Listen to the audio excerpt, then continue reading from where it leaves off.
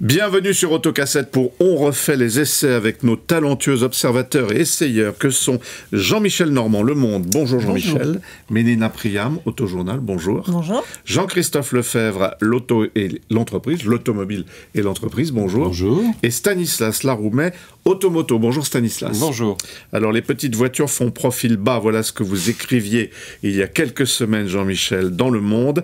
Le restylage de la Toyota Aygo en offre une nouvelle illustration donc c'était un petit coup de peinture, quoi, c'est ça? Oui, c'est un symptôme, cette voiture. C'est le symptôme de l'abandon ou de la déshérence euh, des, des petites voitures, des, des, des, petites citadines de la catégorie des Twingo qu'on a adoré dans les années 90 et 2000 et qui aujourd'hui sont en déshérence parce que les, euh, les constructeurs ne gagnent pas ou plus du tout d'argent.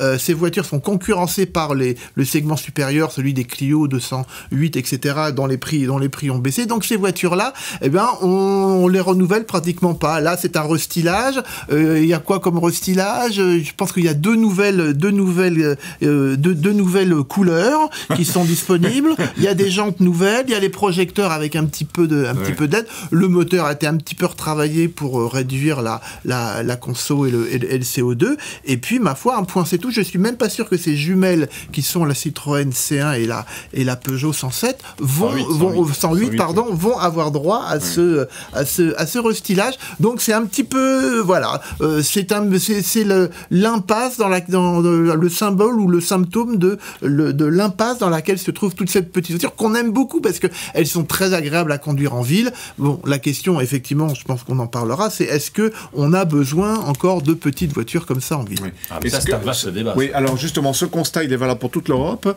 euh, ou c'est juste français ce que L'Europe du Nord. C'est un petit peu moins le cas en, Europe du Sud parce qu'il y a des traditions comme en Italie euh, de, de toutes petites voitures. partout, non? Oui, mais globalement, mm. euh, c'est une catégorie qui est vraiment mise à mal. Mm. Mélina, vous avez roulé un peu avec?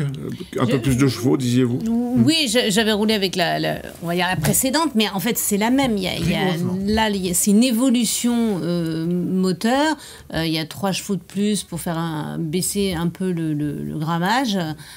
c'est donc c'est une voiture qui est pas déplaisante à conduire en ville. C'est la citadine idéale parce que c'est des petites voitures ultra maniables, courtes, euh, qui se garent facilement, qui, euh, pour circuler en ville, ont, suffisamment de nerfs euh, pour démarrer au feu rouge. Après, sur la route, c'est plus compliqué. Il y a un rayon de braquage formidable, je crois. Oui, il y a un rayon de braquage formidable. C'est des rayons de braquage très, très courts. Bah, c'est plus, gros qu'une Smart, mais, mais, voilà, mais il y, y, a de la place. Aujourd'hui, c'est des voitures qui comme l'ensemble du marché euh, dispose à bord de, quand même de petites technologies, vous pouvez avoir des, vous avez un petit écran tactile, vous pouvez avoir un, GPS intégré, plein de choses. Donc, mais, mais c'est vrai que c'est des voitures qu'on ne voit plus. On a adoré euh, la Twingo, la première Twingo euh, dans les années 90, et puis et puis, puis ça a, passé de, ça a mm. passé de, de, mode parce que les gens roulent aussi différemment. ils veulent de la polyvalence. et ces voitures-là ne sont pas polyvalentes. Et, en ville, évidemment, euh, aujourd'hui, euh, on le voit à Paris particulièrement, euh, ça va être les solutions d'autopartage ou, ou, de free floating pour, pour de certaines Parce qu'elles gardent des atouts en ville tout de même. Hein. je parlais du rayon de braquage, mais il y a d'autres atouts. Enfin, ce sont des petites voitures. Elles, en auront beaucoup plus quand, et c'est un peu le sens de l'histoire, c'est des voitures qui vont toutes passer en électrique. Quand on voit Smart, Smart qui fait la petite euh, Fortwo et la petite et la un peu plus grosse Ford Ford de cette catégorie-là, ne va plus faire que des voitures mm. électriques dans les années qui viennent. Et ça sera des voitures qui seront probablement, pour une bonne partie d'entre elles, en autopartage. Toyota, ça n'existe pas en hybride chez Aigo. Hein enfin, non, pas, pas, non, juste pas, Aigo. Pas Aigo. parce que justement, c'est une voiture qui est, qui est fabriquée en, collaboration avec le, groupe PSA. Hein. C'est les, trois. Euh, euh, les trois voitures sont, sont fabriquées euh, sur la même chaîne, donc il n'y a, a, pas sur la Ego, Toyota n'a pas mis son système d'hybridation trop cher. Et, oui, ça, et le prix, alors le prix, parce que vous parlez des 208 Clio qui sont donc l'étage au-dessus, mais le prix reste intéressant ou pas de ces voitures de ces 999 euros. Moins de 10 000 euros. À partir de, à, partir de, oui. on a une voiture euh, neuve à partir, enfin on a une citadine neuve pour ah, moins de 10 000 euros. bien sûr, oui. Mm. Mais enfin, à ce prix-là, mieux vaut prendre une Dacia. Hein, si ce n'est que le prix moyen est, autour de, 10-15 000. Hein, le prix qui est vraiment, qui est vraiment payé. Un petit peu plus haut pour avoir un petit peu d'équipement, pour avoir un petit peu de confort quoi. La climatisation, les choses comme ça. Mais ce qui est curieux, c'est que ces petites voitures, on l'a vu quand la Twingo est sortie, notamment la première, c'est qu'elles étaient. Ils visaient les jeunes Renault avec la Twingo. Et finalement, elle, elle a été pas mal achetée à sa sortie par des personnes un peu âgées parce que c'était très pratique pour s'installer à l'intérieur et qui n'étaient pas forcément des citadins. Donc des petites voitures comme ça, on en voit beaucoup en province parce que c'est des voitures pas chères, et qui sont très économiques à l'usage.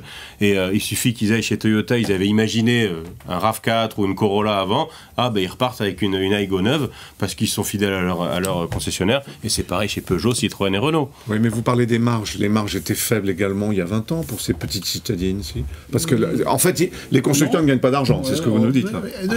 Mais c'était beaucoup moins dur maintenant. Maintenant, vous avez des regroupements. Euh, la Twingo, c'est une Smart.